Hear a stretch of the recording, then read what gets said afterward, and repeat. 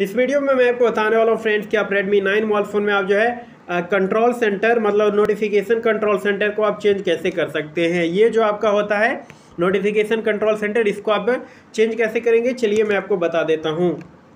तो इसके लिए देखिए आपको क्या करना होगा रेडमी नाइन मोबाइल फ़ोन के सेटिंग में जाना है और, और सेटिंग में जाकर नीचे आना है।